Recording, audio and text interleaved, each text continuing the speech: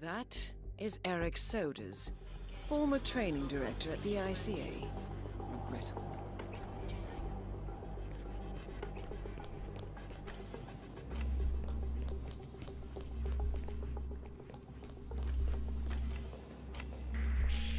Hey, you there. No.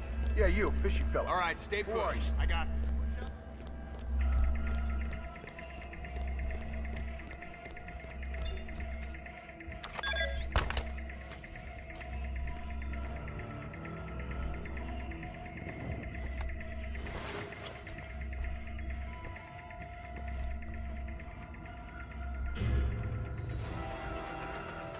Dispatch, we have reason to believe that the suspect is in. Time to step up. It's go time. No what